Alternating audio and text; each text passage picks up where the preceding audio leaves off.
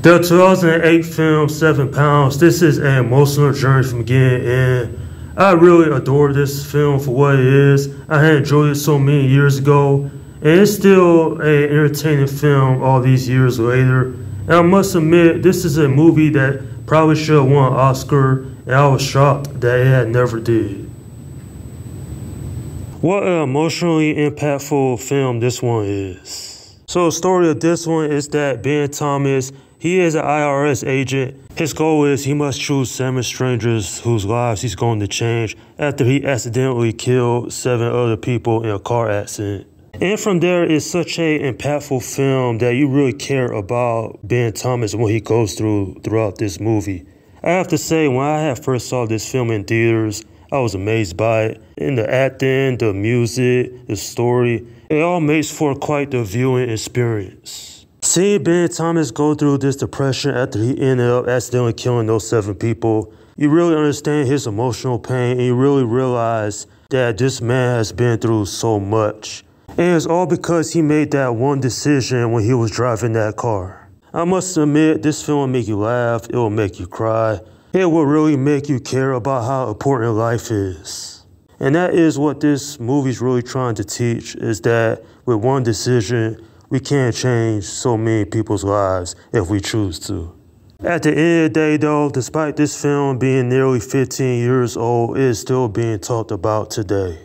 I must admit, the chemistry between Will Smith and Rosario Dawson is better here than it was in Men in Black 2.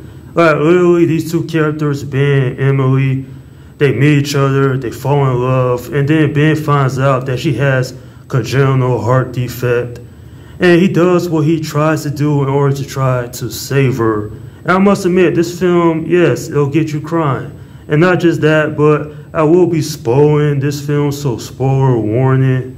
Don't watch this review if you haven't seen this film. But overall, I thought Ben, he was an interesting character in himself. So, because he's not like Will Smith's other characters he's played in other movies. He's not brash, he's not cocky.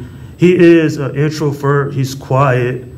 And, you know, that's a good thing because it shows his characterization because he cares so much.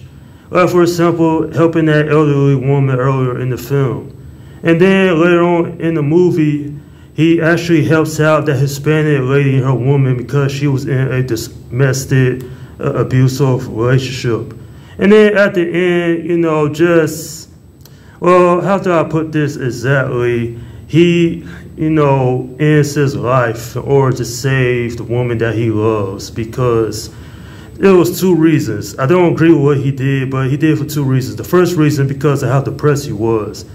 And the second reason really is because of how much he wanted not just save the woman he loved, but change the seven lives in this film. I mean, Woody Harrelson is in this movie, and he gets his eyes at the end of this film. And I must admit, this movie is pretty sad, but it's also pretty hopeful as well, considering how many lives that Ben had changed. Michael Ealy, who also played the brother in this film, he did a good job. The only complaint I had about his character, he's barely in the movie. Yeah, he shows up for like, what, a few scenes, but overall, I thought if he was in this film more, then I probably would appreciate his character. Overall, though, this is a very enjoyable film. It's entertaining. Once again, it should won an Oscar, but it didn't. And it's a movie that even nearly 15 years later still resonates with audience even today. I'm giving this film an 8 out of 10. Without question, I believe this is one of Will Smith's best films before he took a break from acting for three years. Now, I do admit I would have changed one thing about this film. That was the lack of character development for Woody Harrelson's character. I wanted to know more about that man, about what he was going through, and the mere fact how much Ben Thomas changed his life. Yeah, Ben Thomas did do that. He insulted him in the beginning of this movie.